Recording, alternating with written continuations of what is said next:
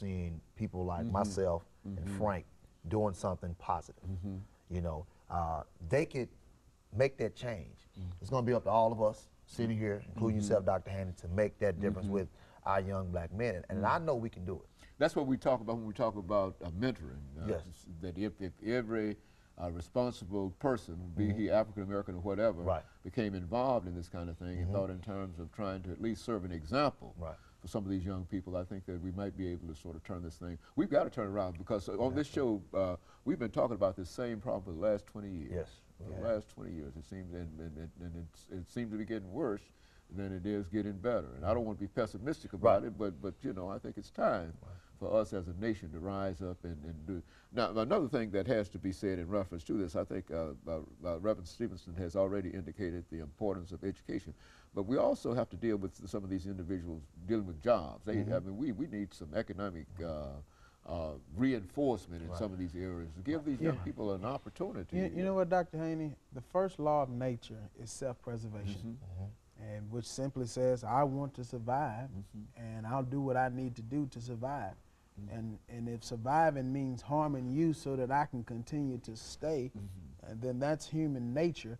But hopefully, we don't get to that point where you have to harm someone else Right. to survive. Survive. But the problem is, uh, in these communities, in our communities, uh, that that law of self-preservation is what's happening because there's not uh, there's not money, there's not those opportunities, and so they feel like you know I, mm-hmm. the only way I some of them feel that sense of hopelessness where the only way I can get is if I take from you. Mm-hmm. And mm-hmm. oftentimes, me taking from you will cost you your life, or it may cause me my life.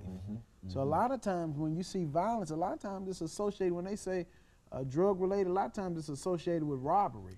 In other Just words, fact, you you uh, have something Three that I or four want. dollars, and then Right. it, it, it bro- breaks down to s- such Absolutely. a very, very Absolutely. And so if we pour opportunities, now see, I don't have to rob anybody because mm-hmm. I have a job that I go to and I Uh-huh. get paid and they give me some money and I uh-huh. can budget my money out and I don't have to take from you because I've got some of mm-hmm. my own. So when we create jobs and create opportunities and education and all mm-hmm. those things, then you bring up a community, and then then then that in itself eliminates uh, the violence that we're seeing because the violence is associated uh, with not having or, or wanting more and not seeing other opportunities. Very good.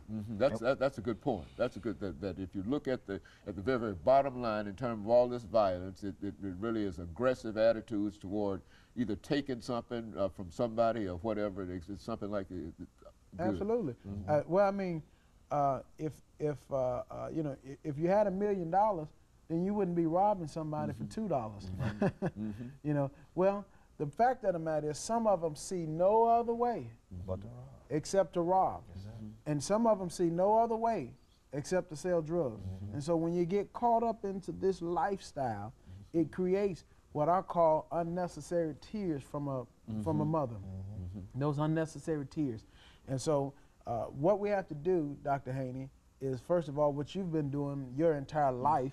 We've got to keep pushing education. I made it out of mm-hmm. 2088 Charles E. Davis Boulevard. I mm-hmm. made it out of that community uh, because I had an opportunity to go to University of Tennessee at Martin, and that opened up and created some doors. So we have to create education opportunities, and if, if not in college through some type of apprenticeship, or some type of skill, some type of Some- vocation. But you got to have something so you can be supported.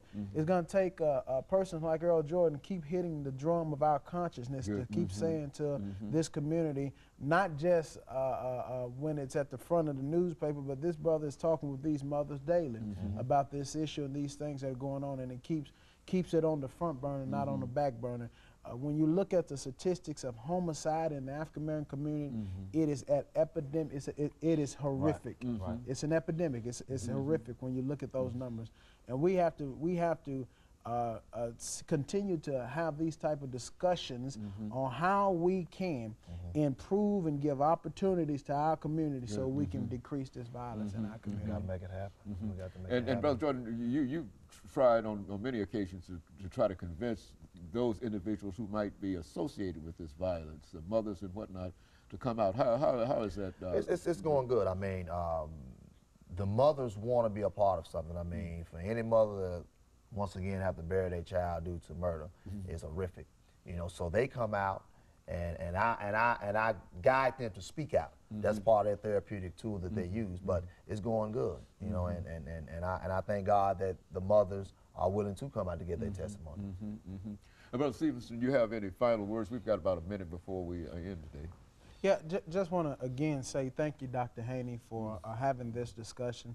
I want to thank Earl for all that he has done in our communities. He has been a uh, foot soldier. And I want to uh, challenge all of the other preachers and pastors in this city to join with us in this national effort to call an end to this violence in our communities. You think that uh, you can, that if all of these other pastors become as conscious about this as a large number of individuals are becoming, that we can really fight this and win this thing? Oh, absolutely. I think if uh, if the if the uh, pastors and, and ministers in this city, if we just join hands and, and lift up a prayer and uh, speak to our Lord and Savior, I think that uh, with, with God all things are possible if we come together and stand as one. And I think this is a worthy enterprise that the two of you are involved in, and we're certainly uh, glad that you came by to deal with this. And of course, let me encourage our audience to uh, tune in again next week for another informative edition of Comments.